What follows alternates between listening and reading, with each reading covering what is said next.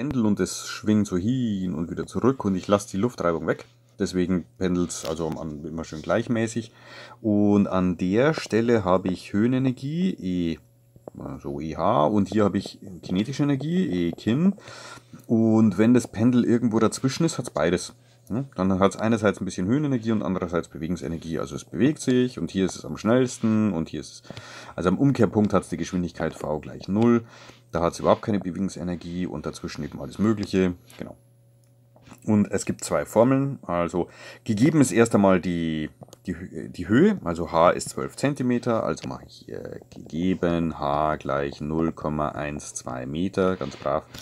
Mehr brauche ich eigentlich nicht. Ja, gesucht, gesucht, v ist gleich Fragezeichen. Die eine Formel lautet ähm, EH ist m mal g mal h und die andere Formel e Bewegungsenergie ist 1,5 mv Quadrat. Und das Interessante ist, die, weil er die komplett umgewandelt wird, kann man die gleichsetzen. Ja, das ist so der Kern. Also die, wenn ich jetzt hier 100 Joule hätte, an, an dem Punkt 1, dann hätte ich am Punkt 2 100 Joule Bewegungsenergie. Und deswegen also gleichsetzen, aber 100 habe ich nicht. Ich muss mir das erstmal anschauen. Also gleichsetzen, dann habe ich ein bisschen so Platz machen. Und äh, dieses Gleichsetzen kommt bei diesen Aufgaben immer wieder. Also m mal g mal h gleich 1,5 mal m mal v Quadrat. EH gleich E Kind. Und dann äh, mit dividiert durch m kürzt sich diese Masse raus. Das heißt, ist egal, welches, wie schwer das Pendel ist. Geschwindigkeit ist immer gleich. Ich mache es ausführlich. Ortsfaktor mal die Höhe ist 1,5 mal v Quadrat. Ich will noch v auflösen, also mal 2, damit er drüben ist.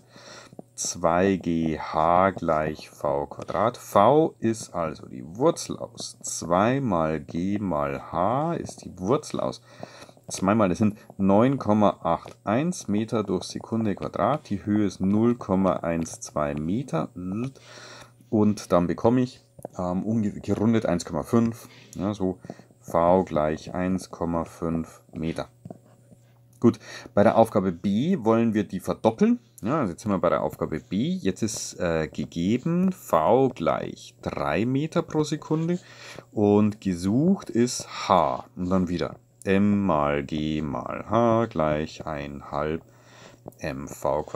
Diesmal löse ich nach h auf und wieder wird dividiert durch m, das kürzt sich wieder weg.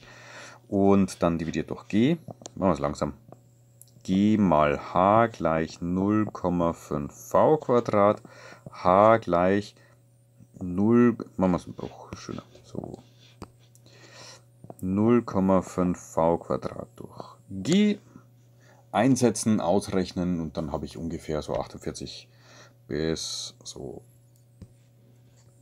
Also h gleich 0,5 mal 3 Meter pro Sekunde durch 9,81 Meter durch Sekunde Quadrat ist ungefähr 0,48 Meter.